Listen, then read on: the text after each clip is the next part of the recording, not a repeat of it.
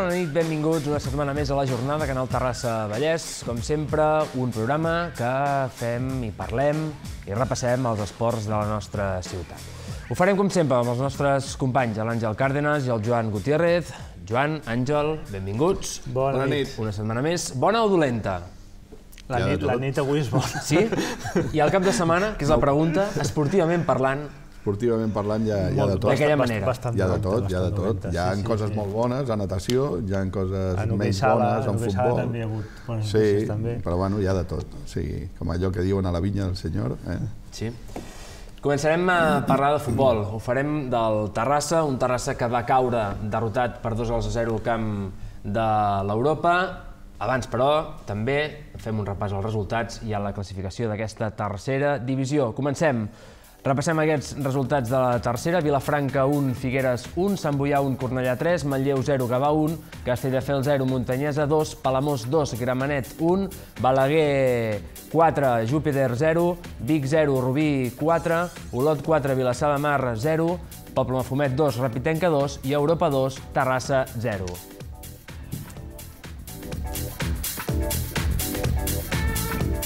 La classificació, líder l'Olot amb 48 punts, segon el Cornellà amb 43, tercer l'Europa amb 42 i quart el Rubí amb 34. El Terrassa és 12è amb 23 punts a la parra baixa, eh, 18è el Júpiter amb 17, eh, penúltim el Vic amb 16 i el Coé el Balaguer amb 14 punts. Un Terrassa que és 12è, amb aquests 23 punts, i un Terrassa que va tornar a caure, en aquest cas, al camp de l'Europa per 2 a 0. He llegit algunes cròniques, parlen de superioritat, si més no, millor l'Europa que el Terrassa. Molt ràpidament, Àngel, fem-nos una mica de 5 cèntims d'aquest partit. Bueno, tu has resumit pràcticament. L'Europa va ser millor que el Terrassa. Eh, un Terrassa que bueno, va tornar a decebre la seva afició, que sempre continua donant suport a l'equip i que de nou va veure com l'equip sortia derrotat per segona jornada consecutiva després de la derrota al camp del Figueres i, i ara davant de, de l'Europa. Això que ens vol dir? Bueno, pues, que tenim de tocar de peus a terra i el que ja comentàvem la setmana passada, començar a mirar cap avall eh, per tal de que bueno, el Terrassa està a 6 punts a, de la zona de descens. No volem ser pessimistes, ni molt menys. Jo crec que el Terrassa eh, té suficient plantilla per poder salvar la categoria de sobres, però eh, les dinàmiques eh, acostumen a ser eh, eh, d'alguna manera l'anunci de- d'una trajectòria, no? i en aquest cas el Terrassa no pot entrar en aquesta trajectòria. Em dóna una sensació, el Terrassa no fa partits, per dir, si em permet l'expressió, pèssims, no és un equip d'aquells eh, fàcil, no, no hi ha un caos, Jo però no un- acaba de, de ser Bueno, jo- superior jo- a altres jo equips, crec que no? és un problema no sé si s'ha convertit en un equip mm, normalet, no, mediocre, però no és la paraula, veure, eh? Però, Jo crec que per la, per la qualitat que té la plantilla... però tothom parla d'aquesta qualitat, realment existeix? Eh, existeix, evidentment, perquè hi és, no? però no se li està traient el fruit que, que, que, bueno, que, que atessora no? aquesta, aquesta qualitat. Jo crec que és un problema d'intensitat durant 90 minuts d'un partit, o sigui, el mateix entrenador l'hem escoltat dir que les primeres parts són per anar al cine. Eh? Bueno, si l'entrenador està dient això, alguna culpa té ell també de que l'equip no tingui aquesta intensitat durant els 90 minuts. No? O sigui, és un equip molt irregular, molt irregular. Anem a veure imatges de, del partit, els anem eh, comentant, d'aquest Europa 2, Terrassa 1, Zero. ai, 0, perdó. Sí, són imatges d'aquest eh, partit del Nou Sardenya, una Europa que, que va tenir moltes més ocasions. Potser clares, clares, aquí veiem alguna que altra rematada, sobretot en jugades apretat aturada, i aquesta de Jordi Roca en el minut 8, que va ser la millor ocasió, Sí. possiblement de la primera part dels dos equips, aquesta rematada sortint a prop del pal. Aquí veiem una fàcil aturada de Miguel Ángel i una altra que aquí també ha de posar la mà Miguel Ángel. I aquí està on comença a perdre el partit del Terrassa, aquest error d'Àlex Fernández en defensa, que habilita a Diego per batre a Miguel Ángel. Això era el minut 53, continua provant-ho a l'Europa, aquí veiem un peu miraculós eh, de Miguel Ángel i aquí veurem el segon gol, obra d'Òscar Muñoz, en una primera matada de Camacho que De atura, que atura Miguel Ángel i després sense voler amb el pit, Òscar Muñoz eh, fa el 2 a 0 en el minut eh, 60, 69. Si això li sumem, Àngel, de que a més a més ens marquen gols de pixarrí, Sí, eh, Ah. clar, eh, si tu regales i no et regalen res, eh, trobes que al final perds el partit. Però jo crec que és una falta, repeteixo, una mica de falta de concentració, d'intensitat durant els 90 minuts i sobretot de, de no trobar la fórmula. Eh, jo penso de que ahir potser també eh, és una opinió molt personal de que potser fins i tot a l'hora de fer els canvis eh, va, va voler no sé què fer, no? però no li van donar resultat. A més a més, donava la sensació de que ahir, tenint en compte de que Vinuesa no va sortir de principi, que Juancho estaven a la banqueta, que el Terrassa mm, perdia, bueno, donava la sensació de que fins i tot eh, la sortida d'un altre delanter, en aquest cas Juancho, que, que va jugar molt bé a Figueres, eh, els minuts que va jugar, eh, Joan es va quedar a la banqueta també, va sortir però no va solucionar res al mig del camp, eh, bueno, eh, no es troba tampoc Eh, no és un camp fàcil el d'Europa. No, mai ha sigut un camp fàcil, mai ha sigut un camp fàcil, però bueno, això no treu de que el Terrassa eh, és, no és el perdre, és com es perd, no? I això és el que, o sigui, això és el que se li demana a l'equip, no? Bueno, jo crec que s'ha arribat a una situació límit, així de clar, no? en la qual el Terrassa no es pot perdre, o sigui, no es pot permetre el luxe sobretot d'anar perdent punts d'aquesta manera, no? i sobretot el proper diumenge a casa davant d'un Vilafranca que no li posarà les coses gens ni mica fàcil, jo crec que en aquest, en aquest moment suposo que continua la reunió que estan mantenint la, la Junta Directiva, en aquest cas el president i els vicepresidents amb el tècnic i amb els capitans per tal de, bueno, de veure què és el que està passant, per què s'ha arribat a aquesta situació en la qual el Terrassa ja pràcticament ha dit adeu a qualsevol possibilitat d'aconseguir l'objectiu que es va marcar a principi de temporada i sobretot eh, preocupats perquè la cosa no baixi més a, no vagi més enllà i que es compliqui fins i tot la permanència. Escoltem el que deia després del partit del tècnic del Terrassa, precisament Miqui Carrillo. Bueno, dolent, dolent. Però bueno, són, cada partit és una història, avui l'equip no ha estat a l'alçada de les circumstàncies, ni, ni, ni en pilota, ni sense pilota, ni en, ni en intensitat, ni... Bueno, et dic que ells ens han superat en tot, no? Sobretot en, en el que és el futbol més important que és la intensitat, ells han sigut superiors, i quan és un equip superior doncs s'ha de dir que felicitats i, res més, no hi ha més. Bueno, excepcionar, lògicament, quan perds, preocupat quan no, quan no guanyes, bueno, tot, no? però bueno, això demà és un altre dia, comença dilluns i hem de veure el, el present partit i, i bueno, intentar doncs, doncs, millorar el que hem fet malament i bueno, és que no hi ha més, el futbol és així, aquest any és, és dur, setmanes molt dures per nosaltres, per, per tots i hem de, hem de fer la feina que estem fent, que és treballar i, i a mi estic aquí per això, no, no, no hi ha més. Bueno, home, aquí té 23 punts, a la jornada 20, bueno, bé, hauria que hem de fer suma 42 punts o 43, el primer, clar. Podem fer 60 i ho fem 20, no estem encertats. Partit a partit, com sempre, diumenge a Vilafranca a casa, hem de guanyar com sigui, i, bueno, i ja et dic, hem d'anar a poc a poc i sumar punts, que és el més important, i, l'objectiu és que el diumenge l'equip torni a fer-ho bé, torni a guanyar i sumar 3 punts. Bueno, el dia que no estigui en cor marxaré, que, bueno, sempre dic el mateix, quan fas roda de premsa és després d'un partit que has jugat malament, però bueno, estàs decebut, estàs, estàs baix, però bueno, demà surt el sol i demà hem de, hem de continuar, jo, jo em deixo l'ànima per aquest equip, dia a dia, treballo molt, jo, els meus, i, jo, mentre jo treballi i la gent vegi que està amb mi, no, no, si em pregunta si vol marxaré, no, no, no marxaré. Bé, Miquel Carrillo, sincer amb les seves declaracions, reconeix doncs, la superioritat en aquest cas de, de l'Europa i d'altra banda, bueno, mmm, està clar que diumenge hi ha una bona oportunitat, no per tirar endavant, però sí per, amb un rival directe com és el Vilafranca, eh, si més no, Home, endreçar una mica és la que, situació. si no, jo crec que la llum ara estarà... Parla de la permanència, ho parlàvem la setmana passada, sí, sí, sí. assegurar aquests 43 Clar. punts, volíem fer 60, en portem 20, imagina't, bueno, és que això estem, és sincer. És que estem ja, després d'aquesta derrota, fins i tot per sota de la mitjana, pràcticament, o, o la mitjana, no?, per, per salvar la categoria bueno, eh, són conscients ells mateixos també de que la situació no és la que tindria que ser, no? però clar, et ven Vilafranca... No és dramàtica tampoc, eh? no ens no, alertem. No, no, no, no és dramàtica, però, però està molt, alerta. lluny, eh, molt, eh, molt allunyada del que es va vendre a principi de temporada. No? Aquí podríem diferenciar, suposo que estareu d'acord, amb els objectius marcats i amb Clar. la situació que no és dramàtica. Clar. Són dues coses completament no, diferents. Dramàtica no, però sí... Es pot jutjar per al moment que, té, que està al Terrassa, perquè no s'han complert els objectius, mm. però no pot haver-hi alarmisme per la situació actual no, del no, Terrassa. alarmisme no, preocupació, que és el que li vam preguntar, perquè és la preocupació que té tothom, té, té, suposo des del president, passant per la Junta, els aficionats, els mateixos jugadors, Bueno, el mateix desencert, el, entrenador... el club fa quatre tots- dies que tots- engega uns carnets a mitja Però- temporada, no ajuda l'equip Sí, però a que es puguin això reactivar aquestes això coses. és futbol, això és futbol. Doncs aquesta preocupació és Pensa normal. Que, a veure, això és futbol. Eh, tu dius que no, o sigui, a la, o sigui, no és dramàtica, però bueno, jo diria que la llum aquesta de color eh, àmbar, eh, el vestidor comença a fer De tant en tant. eh? I- es i des- comença a encendre. I si es perd davant de, del Vilafranca, l'àmbar ja es quedarà fixa i ens quedarà la vermella. Vull dir, això és futbol. I no, i després que hem de mirar que els equips de, de baix, els equips estan començant, comencen a puntuar. El Balaguer, que tenia 11 punts, que semblava ja enfonsat, li va marcar 4 El Júpiter, al sí. Júpiter. Va guanyar el Palamós, va, va guanyar la Montanyesa, és a dir, que els equips també, i el Júpiter, que també feia una setmana que semblava que estava també condemnat al descens de categoria, també comença a veure la llum. A, la qual cosa, per això es té que reaccionar hem ara. passat d'estar a 7 punts de la zona de descens a estar a 6, és només un punt, però clar, queda tota una segona volta per davant. Vull dir que... Queda tot una segona volta per endavant.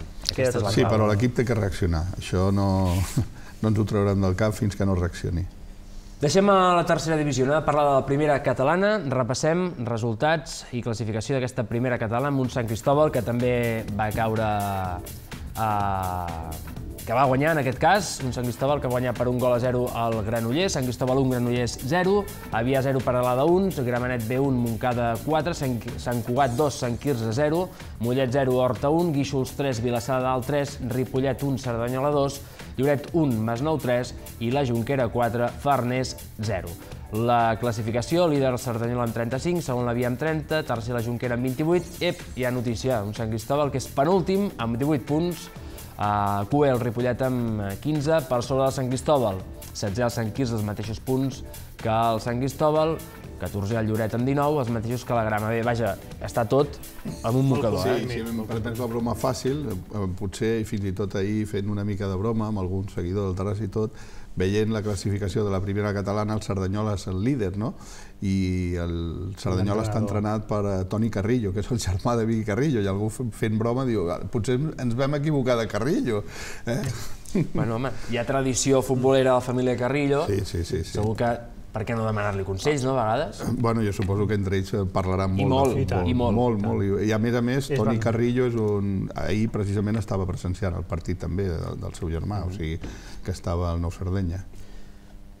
Tinguem paciència. Jo crec que No, si paciència n'hi ha. el que sí que David, es, poden veure, es poden produir dos Però, miracles. David, que tu Però has- aquest any hi ha dos miracles. que tu has seguit molt home, el Terrassa durant molts anys Sí, i, i tu dic- no em diràs que la paciència que s'està tenint aquest any, recordem que l'any Aquí està, passat... és que aquí vull dir una cosa, Ah, vale. és que aquí vull dir una cosa. Que no diguem El que, que no tinguem paciència, sí. perquè si no després la culpa la té la premsa, eh? No, però per això et dic una cosa. Si s'ha tingut la paciència que s'ha tingut fins ara, que ningú es queixi. Perquè en la situació que estava al Terrassa fa 3 mesos, jo crec recordar que en els últims darrers 10 anys no s'ha tingut, no s'havia tingut tanta paciència. No, no, i si em preguntes per al canvi d'entrenador, jo sóc el primer No, no, i ho però t'estic mantinc. dient que eh? no- s'havia- s'ha tingut molta paciència aquesta el que temporada, sempre he dit, home. que no sóc partidari de canviar entrenadors a mitja temporada. I el Sant A Cristòbal, no ser que sigui una situació i el límit. Sant Cristòbal, així com potser va sorprendre una mica la destitució eh, De Toni Però mai de sabrem Toni què Centelles, hagués fet però mai Toni sabem el que hagués passat. El que sí que queda clar és que sembla que l'equip comença a remuntar, Home, tal com es veu, sí. tal com es veu la Sí, classificació. per tant, l'equip això es és una va molt bona la notícia, també. incorporació de Xema és una, una bona notícia també aquesta setmana. Bueno, eh, és mica en Veiem mica. imatges d'aquest eh, Sant Cristòbal i els anem comentant, d'aquesta victòria al conjunt eh, parroquial per un gol a 0. Sí, va ser contra el Granollers. Eh, recordem que el Sant Cristòbal venia de perdre 4-0 contra el Fa... 4-0 em sembla que va ser contra el Farners, Sí, sí, o 4-1, 3-1, 3-1 contra el Farners. 3-1. I aquest era el partit que tancava la primera volta de la Lliga, de la primera catalana, un Sant Cristòbal que guanyant aquest 1-0 contra un Granollers, també equip de la taula mitja de la classificació, i la veritat que eh, el, el Granollers va estar dominant gran part de la, del primer temps, fins i tot se li va anul·lar un gol al conjunt del Vallès Oriental, però afortunadament el Sant Cristòbal en va tenir suficient amb un gol de Rubén Ruiz en el minut 72, ja en el segon temps, per fer aquests 3 punts. I la veritat que, com hem vist en la classificació, el Sant Cristòbal es troba només a un punt de sortir de la zona de descens, a un punt només de sortir de la zona de descens en una primera catalana, en aquest grup primer que està molt, molt equilibrat, que hem vist una rematada al travesser i després hi va haver-hi un gol anul·lat eh, al Granollers, però la dic que el Sant Cristòbal no, no, es va, mm, no, no, no va llançar la tovallola, realment va continuar apretant i va aconseguir aquest gol, com diem, de, de Rubén Ruiz a, a passe de José Plaza, amb una bona assistència que va mm, doncs, realment col·locar aquest 1-0 esperançador de cara a mantenir les seves opcions de mantenir la categoria. I si no estic, eh, perquè ahir no vaig estar al Municipal de Can Anglada, amb un ex del Terrassa, David Charcos, Sí que es va lesionar. que es va lesionar. Es va lesionar, o sigui, sí, sí. Charcos, el David el recordarà molt bé, també. David Charcos, m'estàs dient amb el Sí, Granollers? sí, sí. sí. Sí, sí. I Déu-n'hi-do, eh? Estem parlant de... Això ja és un mite. Atenció a la classe que tenia, eh, David Sí, Charcos. home, i, i, un equip, jugador, i, eh? eh? i un equip al Granollers que s'ha fet per pujar, eh? O sigui que això però cal només té tindre 3 en compte. punts o 4 punts més que el Sant Cristóbal, eh? Bueno, Sí, que sí, no, s'ha quedat... Després quedat- la realitat és una altra, no? La realitat és una altra, sí, sí. Deixem el futbol, anem a parlar de hockey, eh, en aquest cas d'hoquei sala, perquè hem de parlar d'aquest campionat de Catalunya, on va haver-hi últim moment canvi de seu. Sí, la veritat és que s'havia de disputar les semifinals i la final al pavelló de Can Sala. Es va començar a disputar la primera semifinal al pavelló de l'Atlètic, però per problemes de la pluja que va caure al llarg de tot el dissabte, problemes d'humitat, relliscava moltíssim la pista i es va acabar jugant la segona semifinal al pavelló del Club Egara i la final i el partit pel tercer i quart lloc en aquest escenari que estem veient. Jugadors de l'Atlètic celebrant aquest títol, em sembla que porta 29 títols de campionat de Catalunya d'hoquei sala, la veritat és que pràcticament els ha guanyat pràcticament tots.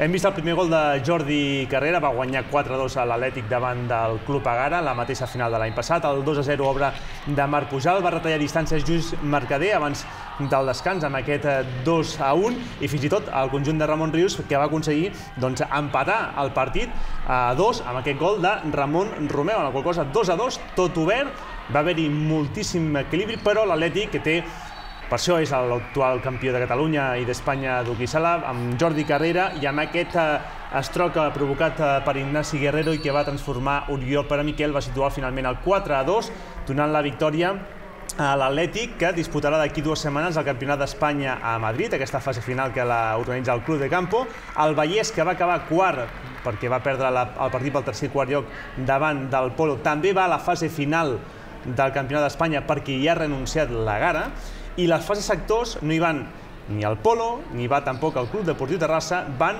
equips que van acabar dels últims en aquest torneig català, com és l'Atlètic 1952 i com el Júnior, que no ha jugat ni el Campionat de Catalunya i juga a les fases No sector sèrio. del Campionat Que em d'Espanya. perdonin i tinc I aquí gran ja li respecte... deixo que l'Àngel faci tinc el un seu gran- comentari. Tinc un gran respecte, evidentment, i sobretot per aquest esport, perquè és espectacular. A mi m'encanta, vull dir, és un esport espectacular. A més a més, vaig tindre la gran sort de viure l'única Copa d'Europa que va guanyar l'Atlètic a Doncs d'aquí d'aquí- Tornen a anar-hi d'aquí un ara, mes va a d'aquí, Lille i una altra a més a més, eh, si queden campions Això d'Espanya... vols dir que el talismà ets tu, Àngel? Home, jo Però tinc... escolta'm, plantegem jo les coses, puc potser, no? presumir de que tinc la pilota, tinc la pilota en la que es va jugar el partit eh, de la final a Lille, on l'Atlètic es va proclamar campió d'Europa. I vull fer aquesta donació, ho dic aquí públicament, d'aquesta pilota per al Museu de l'Atlètic. Ho farem els Vols fer propers donació dies. perquè a mi m'ha arribat que vas baixar i la vas... allò com a diu... Mm, mangar una pues, mica. Pues, eh? eh? em sap molt de greu que, que, que bueno, no, no s'ho prenguin seriosament perquè és el que diu. A veure, un equip que ni ha participat ara va a la fase del Campionat d'Espanya.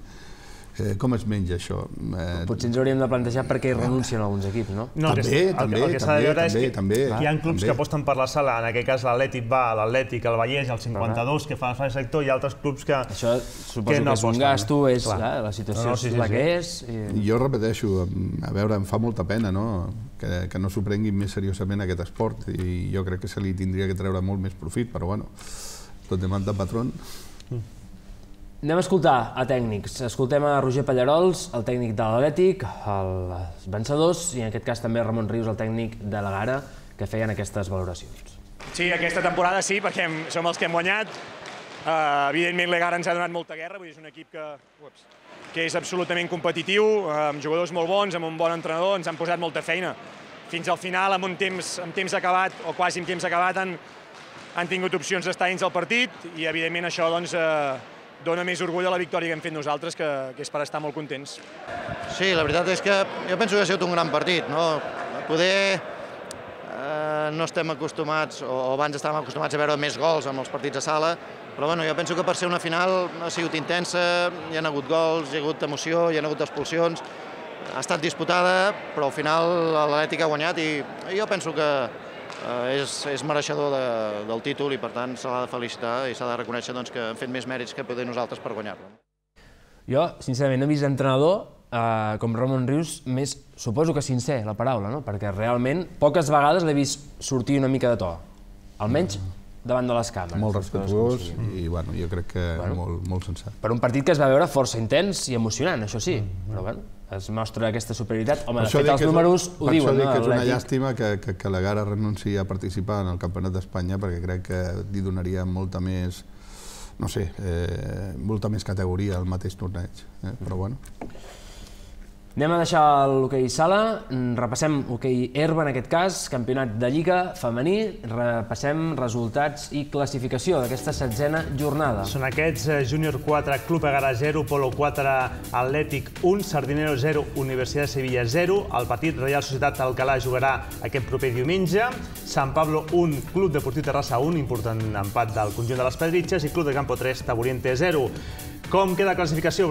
Doncs, pràcticament amb els que jugaran al playoff. Real Societat, Club de Campo, Sant Pablo i Júnior, que porten tota la temporada allà dalt. Atlètic i Club Egara a 9 punts del playoff. El Terrassa amb el puntet sumat a Madrid s'allunya a 2 de la zona de descens que ocupa ara mateix Taburiente i Universitat de Sevilla.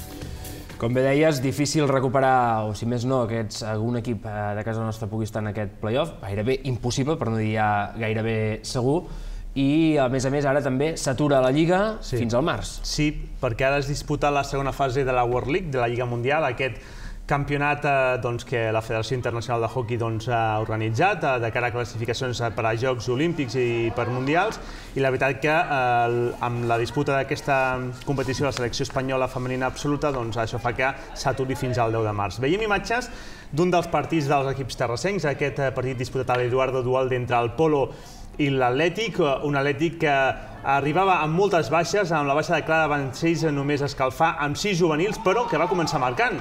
La veritat és que es va avançar l'Atlètic eh, amb un gol de Cristina Escuder i la veritat que li van anar bé les coses, però ràpidament el Polo va eh, doncs, equilibrar el partit amb Elian Gales fent l'1 a 1 i abans de que s'arribés al descans amb un gol en pròpia porteria de l'Atlètic aconseguia el 2 a 1 al Polo. A la represa doncs, continuen dominant el Polo amb aquest gol de Dominic Fortuny que van protestar a l'Atlètic perquè consideraven que cap, ningú havia tocat la bola des de fora de l'àrea i el definitiu 4-1 obrat d'Alicia Muñoz que col·locava aquest 4-1 favorable a un polo davant d'un Atlètic molt cansat. A més, van anar moltes juvenils i moltes d'aquestes juvenils estaven disputant el Campionat de Catalunya de sala juvenil, en la qual cosa van haver de eh, alternar el que és la competició de sala amb la competició d'herba per les necessitats del primer equip, en la qual cosa, vist el que acabem de veure, mm, Agara i Atlètic ho tenen molt complicat, queden només 6 jornades, és a dir, 12 punts en joc i, queden, i estan a 9 del, del playoff, tant Atlètic com Club Agara. I el Terrassa, que amb aquest punt que va poder arrencar de Madrid, molt important per la permanència. Fa un passet, però encara li queda. Sí, sí, i tant. Deixem l'hoquei, uh, ens en anem al món de la piscina, parlem d'una de les uh, notícies, si més un dels esdeveniments d'aquest cap de setmana a la nostra ciutat, aquest campionat de Catalunya de natació, i si hem de parlar de la gent de casa nostra, un nom propi, Albert Puig. Sí, Albert Puig, que va aconseguir 5 de les 8 medalles del Club Natació Terrassa en aquest eh, torneig, en aquest campionat de Catalunya Absolut Open Internacional, i de les 5 medalles, 4 van ser ors, va ser 4 títols els que va aconseguir eh, Albert Puig, concretament en els eh, 200 eh, metres papallones, 200 estils, 100 papallones i 50 papallones, la cosa molt bona actuació d'Albert Puig amb aquestes 5 eh, medalles. En va aconseguir dues més Carla Campo en els 50 metres papallona que va ser plata i bronze en els 200 eh, papallona, mentre que Carles Faro va ser plata en els 400 metres estils. Mm, no està gens malament, atès també eh, un equip, el Club de Terrassa, que ha perdut efectius aquesta temporada, molta gent jove que puja al primer equip, i els dos nedadors que realment són els que han de tirar del carro d'aquest equip, que són Albert Puig i Carre Campo, tot i la joventut que tenen tots dos nedadors. Mm -hmm. Sí que aquest setmana un dels esdeveniments esportius importants ha estat aquest Campionat de Catalunya de Natació. El proper cap de setmana haurem de parlar de la, i podrem seguir en viu la mitja marató Ciutat de Terrassa i també la cursa de 5 quilòmetres Santi Centelles. Una mitja que es va presentar de forma oficial, de forma glamurosa, com cada any, eh, passat divendres, presentar les novetats i convidant una vegada més a participar-hi. Sí, i tot apunta que hi haurà rècord de participació, tot i aquesta invitació a participar-hi. L'organització compta que puguin haver unes 4.000 persones inscrites entre la cursa de 21 quilòmetres i les Centelles de 5, en la qual cosa seria una molt bona inscripció, si realment s'arriba a aquesta xifra de 4.000, amb un cartell bastant important eh, d'atletes i durant la presentació que es va fer de la mitja, a més a més de presentar el circuit que no canvia, es van entregar els premis eh, de l'Activat, que van ser per a Rubén Cid i Carme Ballesteros en categoria masculina i femenina respectivament. Aquí veiem a Carme Ballesteros recollint aquest trofeu i també es va entregar el Premi Noel Otero, que aquest any ha recaigut en Creu Roja per la seva aportació que sempre fa a la mitja. En voluntariat, I, evidentment, evidentment. suport. Sí, sí. Molt bé, uh, per cert, una mitja, una mitja i tu un resum, si més no de la mitja, que podran uh, veure el mateix diumenge a les 10 del vespre, podran veure un resum d'aquesta mitja marató i també de la cursa Santi Centelles i vaja, convidar a tothom a que pugui sortir al carrer, que pugui gaudir de, i pugui animar a tots aquests atletes professionals, amateurs, que poden uh, córrer pels carrers de, de la nostra ciutat. De tens dorsal, David? Eh? Jo encara no el tinc, no, no ho sé, bueno. encara, encara estic dubtant. Esteu estic temps, dubtant, esteu eh? temps. Encara fins estem a dimecres, a temps. fins a dimecres, fins sí. dimecres, ja ho fins saps, dimecres Àngel. estàs a temps. Àngel, Joan, gràcies. Vinga. Fins la propera. la Nosaltres propera. ho Adéu. deixem aquí. Recordar que res, d'aquí una estoneta, a dos quarts de 12 de la nit, encetem un programa nou, Dorsal 10. Si hem parlat de la nostra ciutat, del que passa a casa nostra esportivament parlant, de la comarca, s'encarrega Dorsal 10. Que vagi bé, fins aleshores.